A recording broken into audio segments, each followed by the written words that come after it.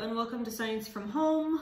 I'm Molly, I'll be your host for today. I'm also a librarian with Spokane County Library District. So for today's experiment, we are going to make lemon fizz. For this experiment, you will need a lemon, baking soda, food coloring, but that's for fun, so if you don't have any, that's okay. A spoon, you might need some adult help to cut the lemon, lemon, which is why I have a knife, and you also need dish soap. And then I have a second lemon just in case something goes wrong with my first. So the first thing we need to do is core our lemon. Not entirely sure how to do that if I'm being honest, but I think I just need to cut out this top part. You want the opening to be relatively big. I think that worked. Um, then we wanna get the juices going. So I'm gonna roll mine a little bit, but as much as possible, you want the juice to stay inside the lemon. So you don't want to, um, as you, if you roll your lemon, you don't want all the juice to spill out.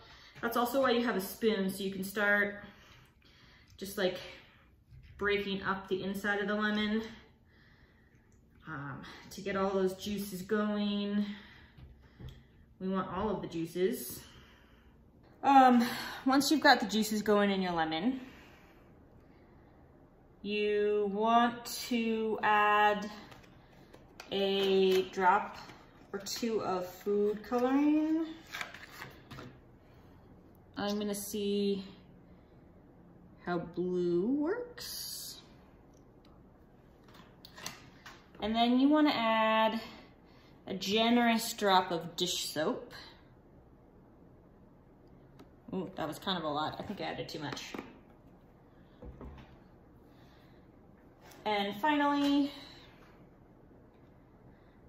we are gonna add some baking soda.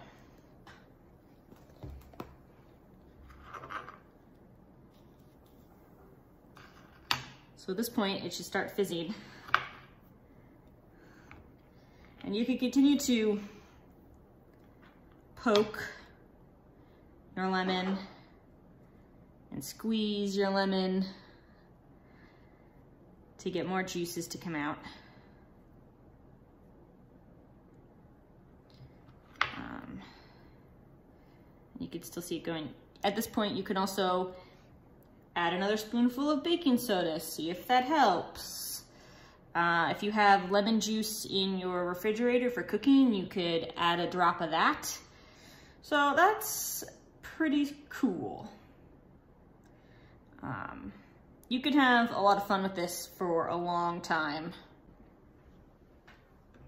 I like this experiment because I think it does a nice job simulating a small scale volcanic eruption this is not quite like what happened with Mount St. Helens or Pompeii, but it still demonstrates some of the properties. For instance, the bubbles inside the lemon can represent magma, and that is what we call molten rock when it is trapped underground.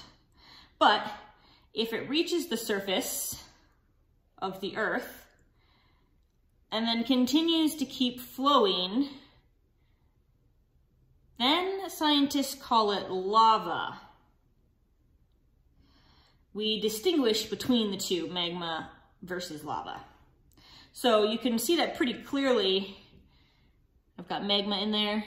It's bubbling up, it's bubbling up. Oh, when it drips down the side, that would be lava.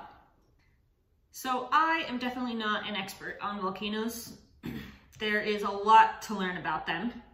Uh, but if you enjoyed this experiment and you want to learn more, the library has lots of resources online and in our branches in books if you want to find out more. I hope you enjoyed today's episode of Science from Home. We will see you next time.